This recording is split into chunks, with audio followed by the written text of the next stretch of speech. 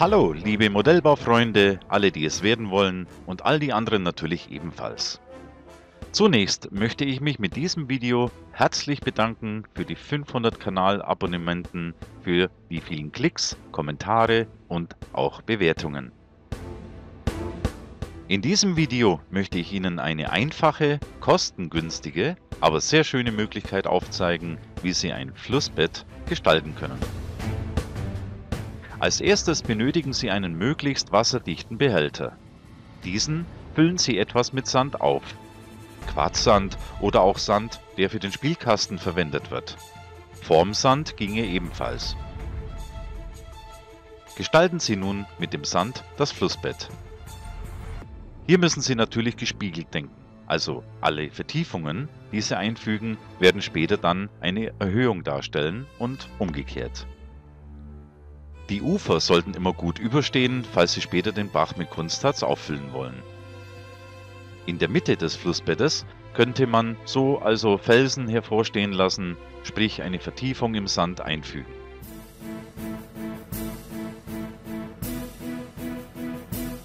Nun könnten Sie mit Gipsresten, Steinen, Geröll, Kieselsteinen etc. die Oberfläche gestalten. Kleine Felsstücke stecken Sie dazu einfach in den Sand, sodass noch ein kleines Stück sichtbar ist, beispielsweise leicht schräg.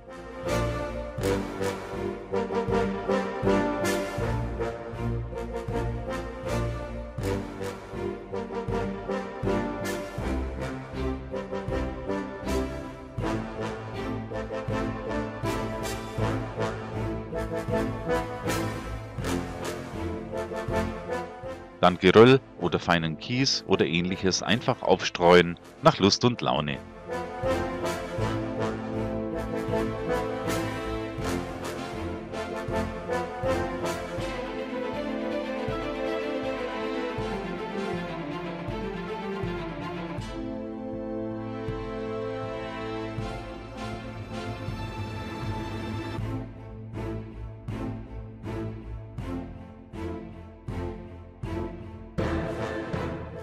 Passt alles soweit wie gewünscht, rühren Sie nun Gips an. Dieser sollte aber relativ flüssig angerührt werden. Sie könnten später nach Aushärten auch eine weitere Schicht auftragen. Soll es für den Außenbereich oder zum Beispiel für Terrarien sein, könnte man natürlich genauso gut Fliesenkleber oder ähnliches als Gießmaterial verwenden. Lassen Sie das Flussbett ruhig etwas sozusagen selbst entstehen. Es soll ja so natürlich wie möglich aussehen. Ist der Gips eingegossen, könnten Sie Sand aufstreuen, dies ist aber nicht unbedingt erforderlich.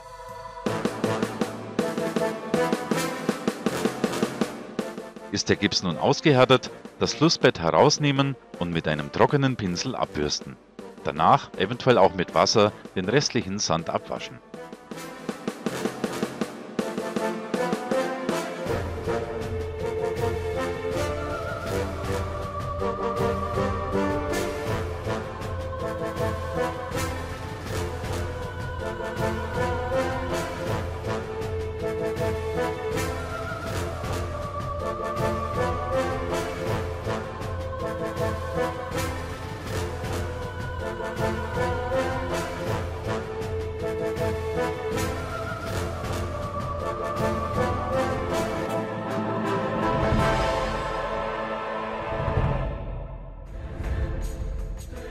Bei diesem Modell habe ich ein Loch in der Mitte.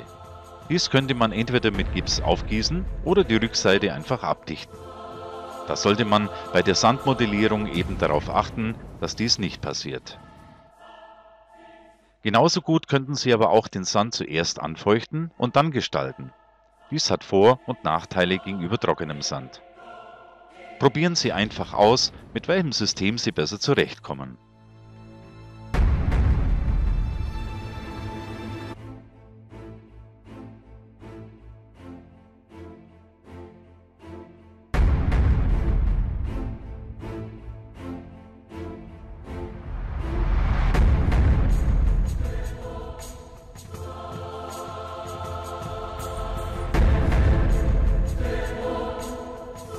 Brechen Sie sozusagen auch den Sand, also so, dass Risse entstehen und so weiter. Damit erhalten Sie interessante Oberflächen bzw. auch Felsen.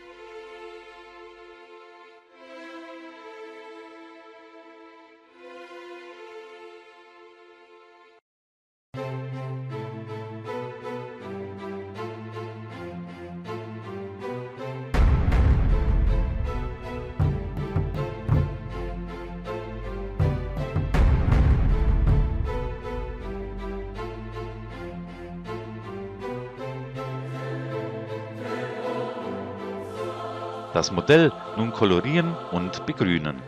Auch Baumstämme, die im Fluss liegen, sehen immer interessant aus.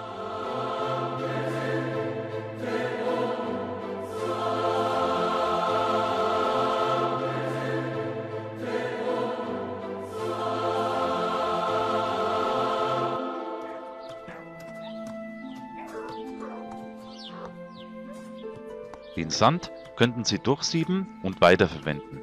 Auch die herausgesiebten Teile könnten Sie ja für das nächste Flussbett verwenden.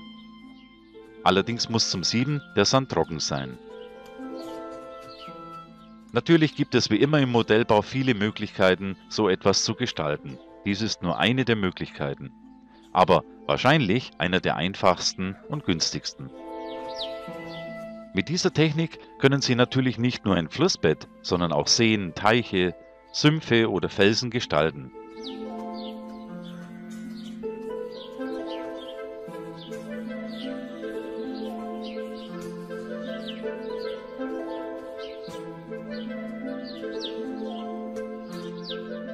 Wenn Sie jeweils kleinere Teile bauen, könnten Sie später durch stufiges Einbauen in die Landschaft auch zum Beispiel Wasserfälle gestalten. Der Bachlauf könnte zum Beispiel auch um die Ecke oder schräg laufen. Da haben Sie viele, viele Möglichkeiten bei der Gestaltung. Nun wünsche ich Ihnen sehr viel Freude beim Nachbauen. Ihr Manfred Amend, Menta Modellbau und nochmals besten Dank für die 500 Abos.